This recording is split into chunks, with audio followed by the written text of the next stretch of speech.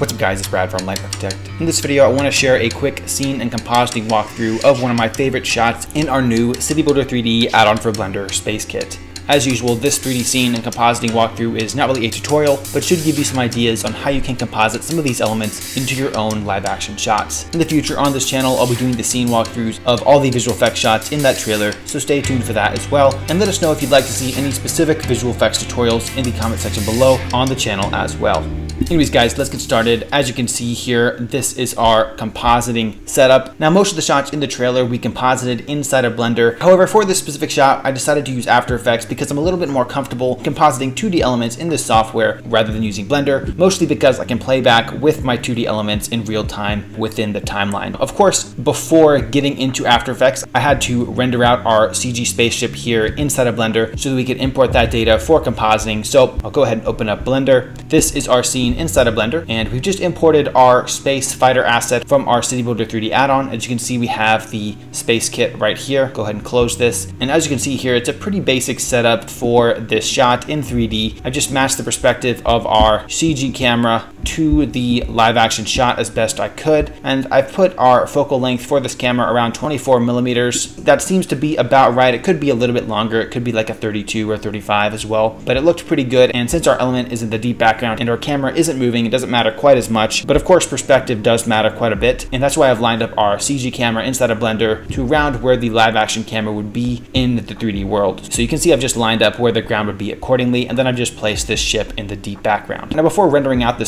spaceship for compositing, it was important to at least have similar lighting on the CG spaceship render. So I've just added a basic HDRI to this scene with kind of a similar cloud setup. You can see if I just go to rendered view, and I'll just go ahead and turn off transparent film. We can kind of see the clouds are somewhat similar to our live action shot. The ground is of a similar color and it's still, you know, a cloudy environment. And then once we have the soft light, as long as the CG isn't super reflective, we can then color grade the CG element to match the footage a bit better. So at least we have some photorealistic lighting on our asset. And then in compositing, we can match the color tones of our asset to the plate a little bit better. So I've just added a basic HDRI here and lined up our ship to where it would be in the shot. And then I've also just added a very basic ground plane to our scene as well to act as a holdout to kind of act as if the ship is buried here in the sand as if it's just crashed. I've also made the ground plane the same general color as the ground in our live action shot. So you can see the base color of our ground plane is just this kind of sandy color. If I turn on the ground plane for a second here, you'll be able to see that.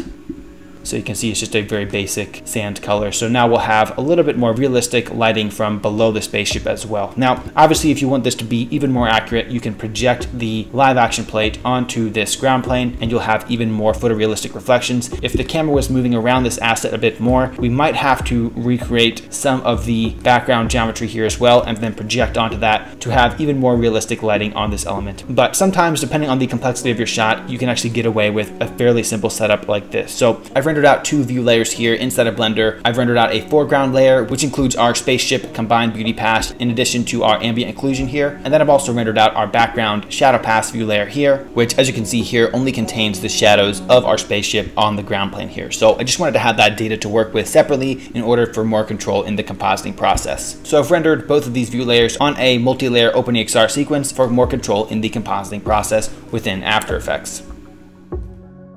Alright guys, so inside of After Effects we have a fairly simple and straightforward composite here. This is our final composite without the color grade that we've added inside of Adobe Premiere, but I'll just go through the layers that we added to blend in our crash spaceship into the shot and grunge up our environment a bit. So these are all of our different layers that we've comped onto our shot. I'll just kind of turn them off here and go through everything one by one. So first things first, we have our live action shot, which is our actor here on the ground. Then I've extracted our beauty pass from our Blender exported multi-layer OpenEXR sequence and to blend in our ship into the deep background a bit more, since our focus is on our character here, I've just added a little bit of camera lens blur to blend it into the shot so it wasn't too sharp here in the background. As you can see, if I turn off that blur really quick, it gets a little bit uncanny as it's too sharp compared to the rest of our background here. So I've just added a little bit of blur to help blend it into the shot a bit better. And then I've also tinted our ship to match the color of our ground a bit better. So this is something you can do when your elements are in the deep background. And I've actually covered this before on the channel when it comes to like adding atmospheric fall off and things like this. But um, what you can do is you can just add a tint to your element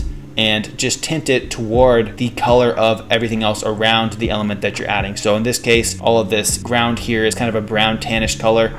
So I've just tinted 6% toward that color. So you can see if I go all the way up, we have something like this, but then we can slowly dial it back. And it's almost as if the light is bouncing off the environment and then hitting our element here. So that's just a little really quick trick that you can use to help composite distant elements into your shot and help match the lighting a bit better if you didn't recreate the entire environment when you did the lighting on the CG element. So adding a little tint there, then I've extracted our ambient occlusion pass from our OpenEXR sequence as well and I've just overlaid that on our element so you can see by itself here what our ambient occlusion pass looks like. So it's just kind of that pass that'll help deepen the shadows a bit and help integrate it into the environment a bit more. And I've just brought down the opacity on this ambient occlusion to just give it a very subtle hint of shadows to the details of our spacecraft like so. After adding our ambient occlusion, I then wanted to add some damage to our spaceship to help integrate it into the environment a bit more. So I just have these two damage elements that I've comped onto our spaceship and I literally just slapped them on here to help give a little bit of variation within the spaceship. I used the multiply blend mode here on both of them to just help blend them into the shot a bit better. And then finally, I started integrating more of the actual live action plate over top of our spacecraft as well, because I wanted to actually make our spacecraft appear like it's actually buried in the sand here, as if it actually crashed in this environment. So I've just taken some of our live action background here and just painted over different parts of the spaceship. So you can see if I just isolate these elements by themselves and you can see I've even varied the opacity of these elements as well to just kind of feather in where the dirt would be on our spacecraft as if it had crashed. So you can see here with our spaceship and then, you know, once we have it all integrated, it looks like this. It's looking much better than our original. So just painting over a little bit of the live action plate on top of that scene where the CG meets the live action can help a lot and is a pretty simple effect to do inside of After Effects or another 3D compositing software of your choice. So I've done that here to help integrate it into the scene. Next, I added some fire elements kind of on that scene where the CG meets the live action. I've actually added these fire elements here for two reasons. One, because I wanted to make the environment feel more chaotic as if the ship had actually crashed and there's still some fire from the crash itself, but also because it helps to further integrate that CG into the live action plate by hiding that seam where the two meet. So I've added those fire elements here.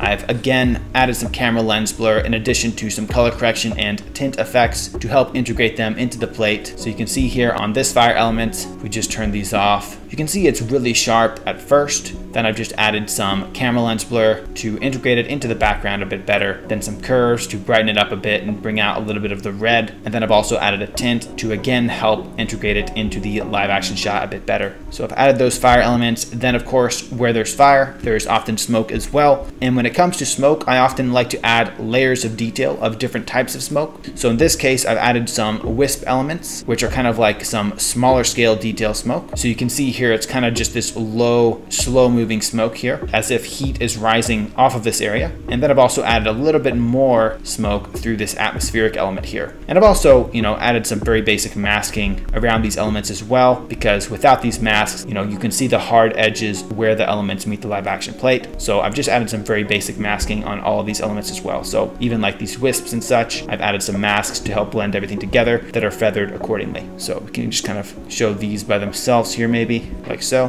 Finally, I just have one more layer of smoke detail here on the right side of frame. So I've just duplicated the same atmospheric element and offset the timing just to add a little bit of smoke here in the deep background on the right of frame as well. And finally, I've added a fire foreground element just to make the shot a little bit more interesting. And then of course, I've color graded this guy as well. I've added a little bit of blur because it's so close to the camera, it should be a little bit defocused there. And then I've adjusted the curves as well to make it a little bit more orange and color corrected it with a little bit of tint to make sure it was integrated into that environment a bit better. Finally, on these last few layers, we've added some Lumetri color for color grading, as well as some Gaussian blur and noise to add a little bit of a film look to the final shot. And I actually didn't end up using these settings. I exported like this, and inside of Adobe Premiere, we color graded accordingly so you can see we've kind of desaturated the shot in addition to increase the coolness of everything to just create a little bit more gritty and interesting feeling to the final image.